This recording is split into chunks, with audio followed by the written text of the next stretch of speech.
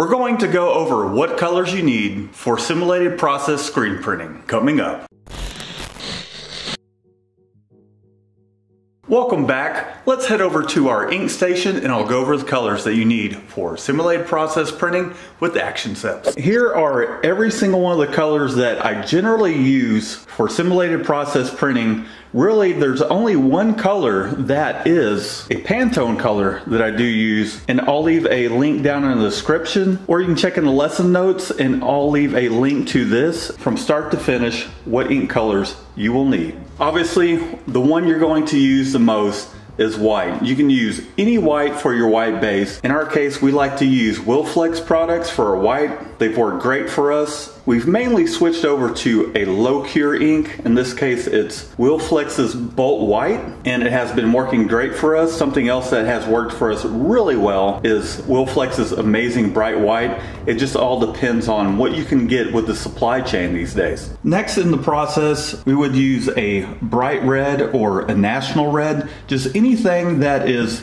a really bright red, I got ink on my hand, really bright red ink. I designed ActionSeps so that way, for the most part, every single one of these colors are going to be off the shelf aside from maybe just that purple over there, and we'll go over that here in a second. The next print color in the sequence is a mono blue. This is Union Ink's Mono Blue, and this is just a off-the-shelf color. And I found that this color works really well with simulated process printing. Next up, we just have a standard lemon yellow ink. Again, we like to use Wilflex, Sometimes we'll use Union, and we'll also use house colors from Vortex, which is a GSG brand. So speaking of, this is just a standard bright green ink. Nothing really special about it. Occasionally we might switch this out for a neon color, but that's not very often. If there's a green that is going into our design, we're just using a standard off-the-shelf bright green color. So next down the line would be a spot process purple. You can see here it's Epic Spot Process Purple. I generally get this from Ryonet. I'll leave a link for that down in the description as well as the lesson notes up above. Next is our turquoise, and this is just a pretty standard turquoise color. You might want to play around with what turquoise works best for you because a lot of times we might find that some of them are a little too green for separations,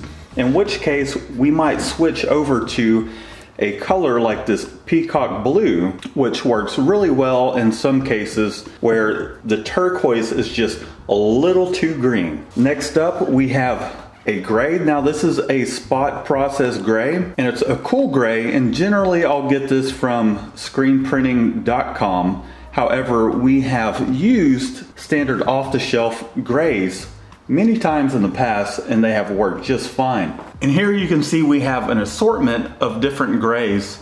You just want to pick something that's about a 50% gray and for the most part you should be a-okay. Our highlight white, we go right back to the same white that we would use for our white base. So just choose your favorite flavor of white ink. For brown, I really like to use sienna brown. However, you can play around with your browns and for your flesh tones, the same difference, either a cream color or whatever comes close to the tone that you are pulling from your separation. One of the fun things about simulated process is playing with some of those colors and actually dialing it in in your own shop. Every job is gonna be a little different. Last but not least, we have black. So if you're going on a color shirt or a white shirt and you need black, use whatever black you tend to like to use. We, again, like to use Wilflex because I just really enjoy using their products. They hold up well, they're nice and creamy, and they've worked well for us many years. I hope this tutorial was helpful for you, just kind of a little bit of a rundown of the ink colors you should be using for simulated process printing.